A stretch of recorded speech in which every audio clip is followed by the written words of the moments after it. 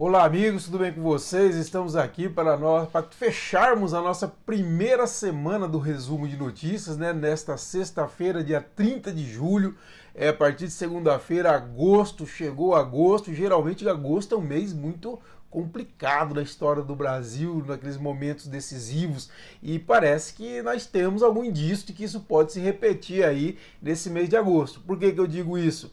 Ah, antes, deixa eu voltar aqui. Eu esqueço direto, mas não vou esquecer não. Eu quero convidar você, muito importante, se inscrever no nosso canal, tá? Para a gente poder abranger mais gente, trazer essa informação para mais pessoas, curtir esse vídeo se você gostou e compartilhar com seus amigos e também é, acionar o sininho para você receber as notificações. Então não deixa de se inscrever aí no nosso canal não, tá bom? Mas como eu estava dizendo, o, o mês de agosto geralmente é um mês bastante tumultuado na história do Brasil. Né? Por exemplo, tivemos aí a, a, a, o suicídio de Getúlio Vargas, né? dramático, e vários outros episódios no mês de agosto. E o mês de agosto agora começa com o retorno dos trabalhos da CPI da Covid. A CPI da Covid no Senado passou o mês todo analisando documentos, então tem muita coisa para vir aí. Então, o mês de agosto promete, no plano nacional, ser um mês muito tenso. Por falar nisso, o presidente da República, Jair Bolsonaro, foi a, na sua live ontem, que ele faz toda quinta-feira, né? E ele diz, diz que ia é, apresentar as provas aí da, é, das fraudes da urna eletrônica como óbvio, né, esperado, apresentou nada, não, não, não tem fraude nesses todo mais de duas décadas que nós estamos usando a urna eletrônica, não tem uma fraude comprovada, ele só apresentou matérias de fake news que tem aí pela internet já devidamente desmentida pela pela, pela, pela, pelo Tribunal de Justiça, apurado, enfim, não tem. É, a questão é, é o presidente da República, República precisa colocar a cabeça no lugar, não incendiar o país. Nós precisamos pacificar o país, não meter fogo no país. Isso é muito importante. É, a impressão que ele deixa é que ele está vendo a derrota eleitoral em 2022 e está agindo como o Trump fez nos Estados Unidos, jogar os seus seguidores contra o sistema eleitoral e contra o sistema é, brasileiro, político brasileiro. Isso aí é antidemocrático, é um negócio muito horroroso. Então é preciso ter serenidade, calma agora e a gente pacificar esse país que está há muitos anos nessa situação aí de conflito beligerante, tá bom? Bom, vamos então para a política local. Na política local eu fiz nesta sexta-feira a, a, a, volta né, do, do segundo semestre nosso aí do Conversa de Política. Eu estreiei aí muito bem, acredito, com a presidente da Câmara, Jana de Valcari, um nome novo na política do Estado causou polêmica aí no primeiro semestre, com sessões tensas né, que nós tivemos lá, muito bate-boca, ela e, e, o Folha, por exemplo, ela e o Rogério Freitas, muita discussão, enfim. Conversei também sobre isso com ela. Primeiro ela fez. Ela faz um relato de todo o trabalho que desenvolveu ao longo do semestre. É, tem uns trabalhos bacanas, né? Bom, assista lá o vídeo Está aí na nossa página do YouTube para você assistir a entrevista com a presidente. Mas no campo político, ela disse o seguinte: que essas turbulências são resultado do fato dela ser uma mulher que chegou à presidência da Câmara no primeiro mandato. Isso aí causou um incômodo. Essa é uma explicação que ela dá ela, ela admite realmente que o clima era tenso, ela chega a falar, por exemplo, que os vereadores nem se davam oi e, e, ao longo do semestre, mas disse que no final do semestre já estava bem apaziguado, já estavam conseguindo sentar na mesma mesa, se cumprimentarem. Isso é bom, nós precisamos de paz e tranquilidade. Em relação à prefeita Cíntia Ribeiro, a presidente falou que a questão com ela não é pessoal, né, que é uma questão que ela discorda da forma da Cíntia conduzir a administração do município. Né? Era uma crítica muito dura da Cíntia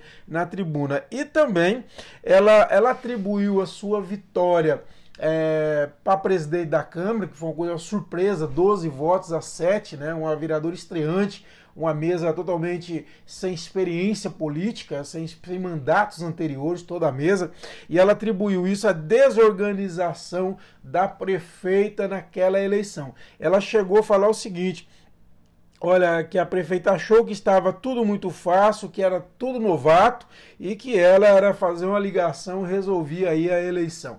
Ela disse que chegou para uma reunião, inclusive ela conta isso, e que a prefeita ficou meio de lado, enfim, não, não deu aquela atenção que os vereadores achavam é, que teriam com, com a Cíntia. E tem, de toda forma, a Cíntia tem uma maioria lá na Câmara, é, na, na, Câmara Municipal e vamos ver esse segundo semestre como vai ser. O Legislativo precisa realmente agir com cautela, né? Porque não adianta a gente querer dar murro em ponta de faca, transformar em praça de guerra, como eu disse agora há pouco em relação ao presidente da República. Nós não podemos transformar o país em praça de guerra, não é por aí, tá bom? Falando a prefeita Cintia, ela entregou o, o residencial Porto Real, né? É esse o nome, é o residencial Porto Real, é nessa quinta-feira e ela foi para as redes sociais e afirmou o seguinte: foi-se o tempo em que, Palma, em, em, que Palmas o prefeito fazia birro por capricho e não capricho e não concluía a obra. Ela disse que hoje isso não é mais possível, não ocorre mais, enfim. Na verdade, foi uma alfinetada, porque, segundo nós, nós apuramos aqui, o período da paralisação dessa obra que foi retomada, dessa, desse condomínio, ele compreende aí as gestões do, do prefeito, do ex-prefeito Carlos Carlos Amassa e também do ex-prefeito Raul Filho. E sabendo, logicamente, que a prefeita Cíntia Ribeiro e o, Raul, e o Amasta não são mais bons amigos. Ela que foi vice do Amasta, romperam depois que ela assumiu a prefeitura e aí viraram inimigos, enfim, né? E nós temos, eu queria lembrar vocês também da super live que nós vamos ter neste domingo, dos 93 anos do Siqueira. É, eu estava vendo a programação, vai ser bem bacana. Nós vamos ter gente, inclusive figuras nacionais entrando para cumprimentar o Siqueira, deixar sua mensagem. Parece que e as pessoas também vão poder entrar, deixar sua mensagem para o ex-governador Siqueira Campos, que agora no domingo completa seus 93 anos. Siqueira que tem muita história, é, como eu digo sempre, né, é, é uma figura que gera desperta amores e ódio, como todas as figuras políticas importantes, né, não só ele. Você pegar no plano nacional, você pegar o Lula, o Bolsonaro, enfim, todos os líderes que ganham destaque, e eles despertam ódios e amores e o Siqueira não é diferente, mas ninguém pode negar a contribuição decisiva que ele tem para a construção do Tocantins e de Palmas. Então acompanhe, vai ser esse domingo, dia todo, essa, essa comemoração, ok? E o, e o CT vai disponibilizar, disponibilizar o link para você estar tá acompanhando. E por fim, é, tivemos hoje aí um evento da Codevasp, muita movimentação política. Estou apurando os últimos detalhes aí, mas uma coisa que eu já vi foi a movimentação lá, uma, um trio assim bastante é, é, coeso lá, pelo que já me falaram, do Gomes, o senador Eduardo Gomes, o deputado estadual Jair Farias e o prefeito de Axixá, o Aurivo Lange Ribeiro Jorge.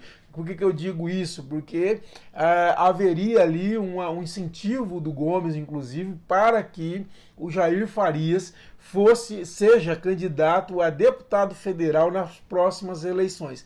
Em sendo, em Jair sendo candidato a deputado federal, o prefeito é, Aurivo Lange, que está no seu segundo mandato, né, ele me disse que se o, Auri, se o, o, Jair, que é o deputado estadual dele, for candidato a deputado federal, ele, Auri, será candidato a deputado estadual. Vamos estar apurando aí mais bastidores, porque muita movimentação política nessa semana que o governador é, já está tá, tá dizendo claramente aí que não é candidato. Então tivemos muitas movimentações e eu vou logicamente passar o final de semana apurando e vou trazer para vocês na segunda-feira. Pessoal, é isso. Bom final de semana a todos e até segunda-feira e não deixe de curtir esse vídeo se você gostou, compartilhar com seus amigos nos grupos de rede social e tal, e também se inscrever no nosso canal, que é muito importante para nós, e ative o sininho para receber a, as notificações toda vez que colocarmos um vídeo novo aqui.